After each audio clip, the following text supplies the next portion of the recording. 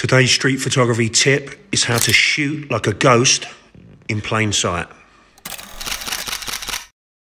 And over here. Now don't op open them too much, just like that. Uh, turn your head slightly this way. There. Lovely. Blow a kiss. Right, what's your name? Ernie.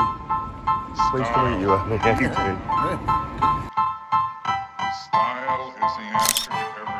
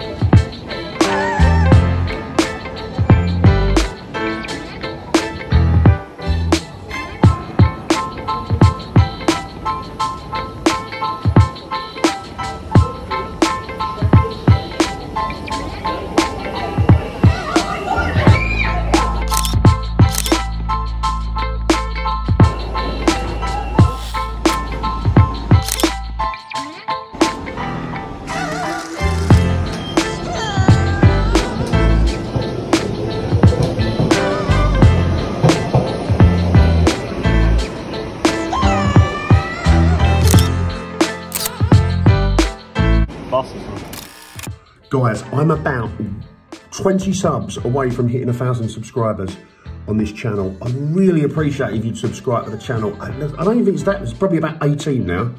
Um, first of all, you guys have been with me since the start of the channel, or at least the start of since I've been posting videos. Um, guys, it means the world to me. It really does. I don't take it for granted. Um, and I appreciate your loyalty, despite my inconsistency with posting, especially the last year or so.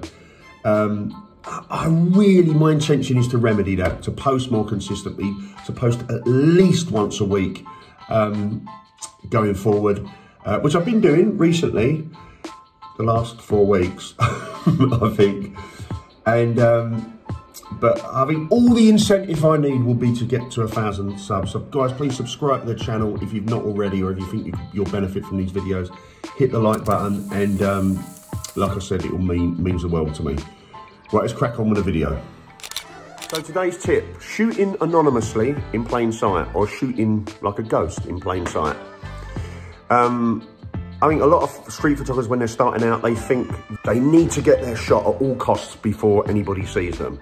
And quite often that might be the case, like um, we turn a corner, somebody walks out of uh, a shop on the right-hand side at the same time, a window cleaner drops a, a bucket of water on their head. the cyclist on the left is riding by and he sees everything, turns his head and rides straight into a, a lamppost. That's, that'll, that, that'd hurt, wouldn't it?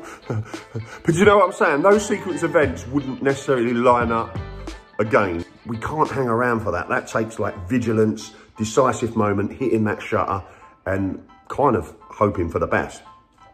But there's another way of shooting where we're kind of nurturing the scene, where people might be on their guard, perhaps in a marketplace when we're first there, but they can only give attention to us for so long, right? Eventually, once they, it's like once they've acknowledged um, consciously that we're there, it won't be too long before kind of unconsciously they'll forget about us. And then we're kind of free to duck and dive, roam about, and um, yeah, like I said, shoot anonymously, like a ghost, but in plain sight. Does that make sense? I hope it does.